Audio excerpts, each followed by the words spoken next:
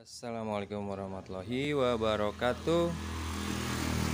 Pada kesempatan kali ini saya akan memasangkan kabel rem motor Honda Beat. Ini untuk rem belakangnya udah putus Putus di bagian dalam mbak. Nah untuk mengganti kabel rem belakang pada Honda Beat itu cukup memerlukan obeng saja seperti ini. Kita pakai obeng obeng plus seperti ini. Dan kunci tambahannya adalah kunci 14 untuk membuka bagian spion. Nah ini kalau ada ya spionnya ya. Untuk membuka bagian batoknya kita buka pakai obeng. Di sini ada dua ya kiri kanan sama samping kiri kanan juga di bagian bawah. Sebelumnya kita buka dulu spionnya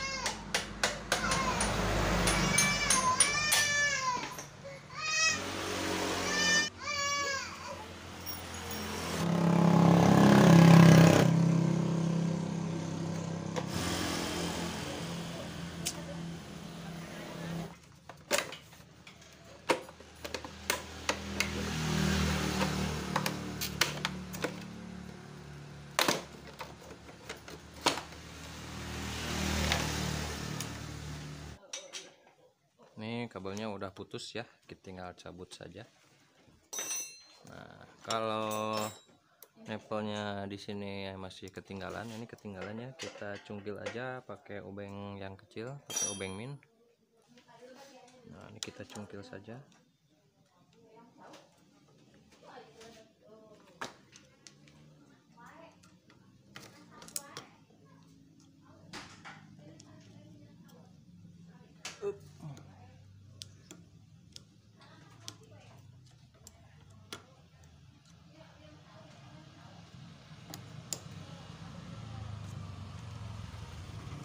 Nah ini Nah sebelum si kabelnya kita lepas kita buka dulu bagian belakangnya nah, ini buat setelannya ya setelan rem. Kita tahan pakai tang di depan sini lalu kita buka pakai kunci 14 nah ini kalau mudah cukup pakai tangan cuman kalau ininya banyak kotoran biasanya macet ya. Jadi bisa menggunakan kunci 14 seperti ini.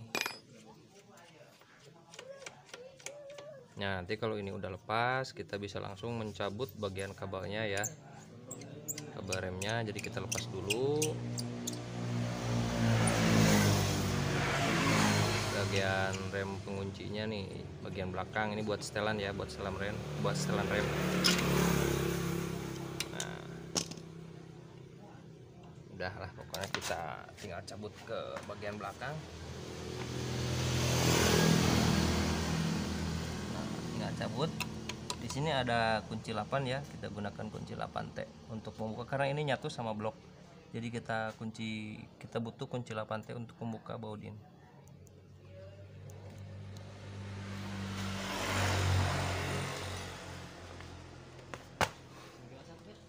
Nah, jadi untuk mengganti kabel rem belakang itu nggak perlu bongkar-bongkar kaper ya. Ya, cukup ikuti langkah-langkah yang saya tunjukkan di video ini.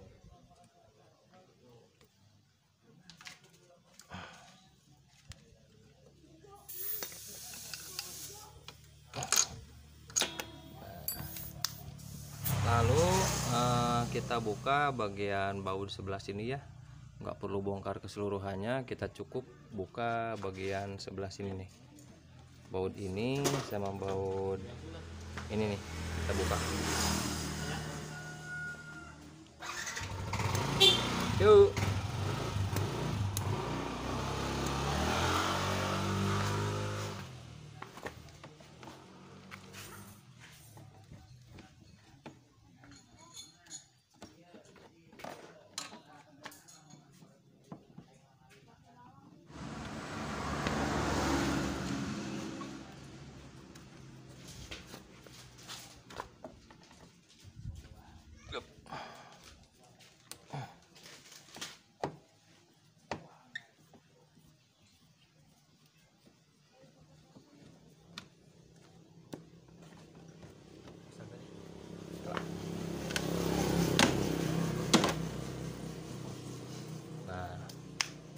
cukup seperti ini lalu kita tinggal cabut bagian kabelnya.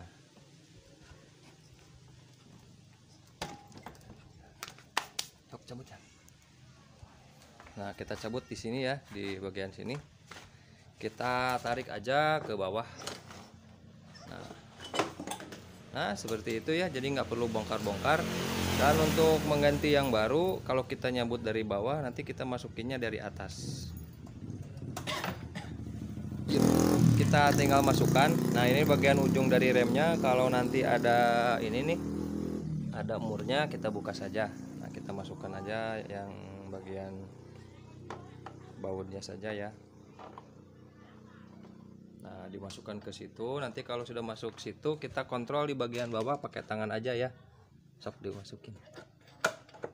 Nah nanti kita terlihat di bagian sisi bawah ini. Nah kalau udah terlihat kita tarik aja pakai tangan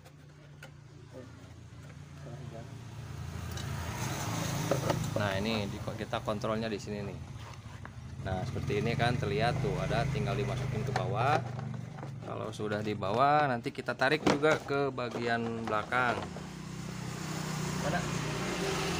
Nah seperti ini masukin ke sini sesuai jalurnya yang tadi.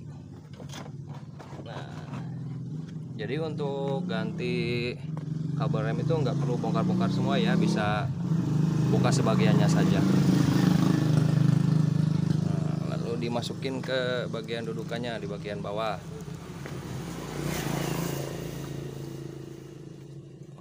Nah sini nih.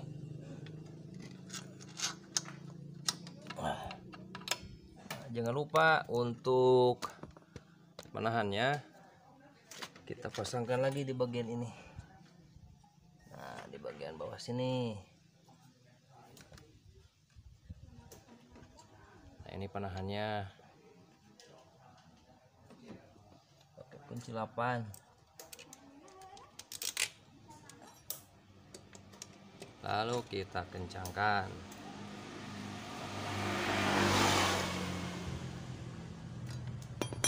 Nah sebelum kita setelkan ya di bagian sini bagian belakangnya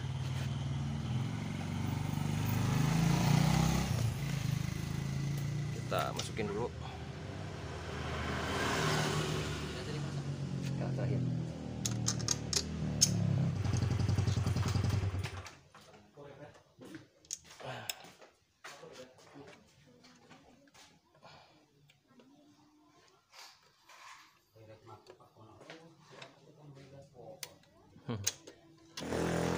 Untuk memasukkan kabel bagian depan kita buka dulu baut handlenya biar mudah.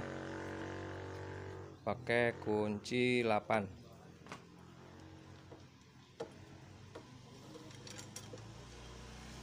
nah, nah kalau sudah pas kita masukkan bagian kabelnya. Kita masukin ke sini ya sesuai jalurnya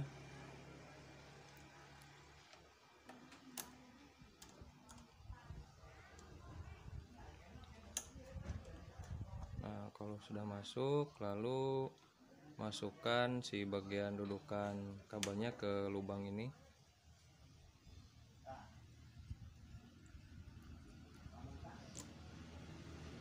Nah jadi lebih mudah ya tinggal masukkan kembali ke dudukannya. Nah seperti itu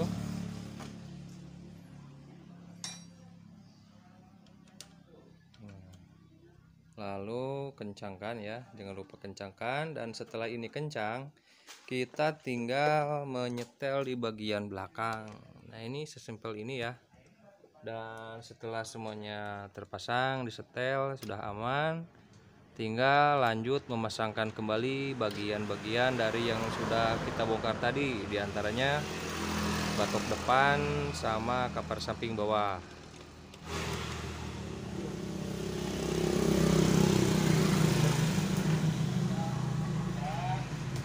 ya sip ya jadi ini cuman setelahnya agak dalam kemungkinan di kanvasnya ini udah habis nah ini untuk tutorial cara melakukan penggantian kabel rem belakang pada Honda Beat seperti ini ya simple kita setelah ini bisa langsung beres-beres bagian cover yang udah kita bongkar kita pasangkan kembali seperti semula Oke, sampai di sini dulu video kali ini. Sampai jumpa eh, di video berikutnya. Assalamualaikum warahmatullahi wabarakatuh.